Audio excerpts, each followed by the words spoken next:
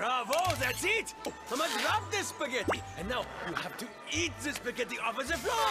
Oh, yes, you are angry.